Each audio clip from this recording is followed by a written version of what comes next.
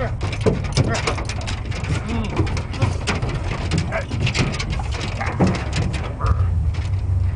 blow it on him.